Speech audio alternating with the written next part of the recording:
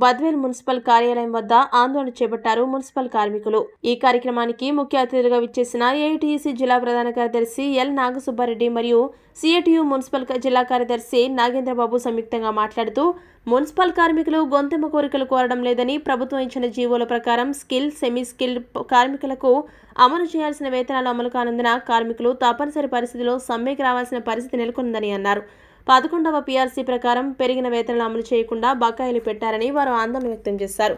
మూడు సంవత్సరాల ముందు రాష్ట్ర ముఖ్యమంత్రి జగన్మోహన్ రెడ్డి అధికారంలోకి వస్తే అవుట్సోర్సింగ్ కార్మికులందరినీ పర్మనెంట్ చేస్తామని మాట ఇస్తున్నా మాట తప్పనని వాగ్దానం చేసి నేడు ఆందోళన చేస్తుంటే మళ్ళీ అధికారంలోకి వస్తే వేతనాలు పెంచుతామని మాట తప్పడం సిగ్గుచేటని వారు ఆరోపించారు.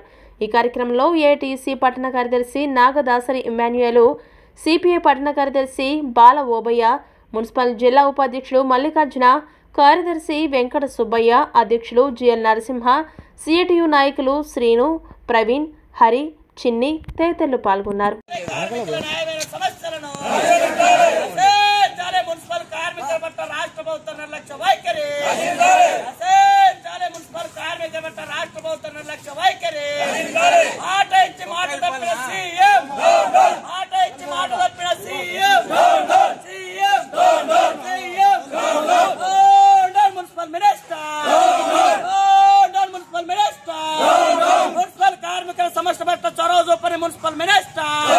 మున్సిపల్ కార్మికుల సమ్మె పట్ల సమస్యల పట్ల చొరవ చూపిన మున్సిపల్ మినిస్టర్. నశించాలి రాష్ట్ర ప్రభుత్వ నిర్లక్ష్య వైఖరి. నశించాలి రాష్ట్ర ప్రభుత్వ నిర్లక్ష్య వైఖరి.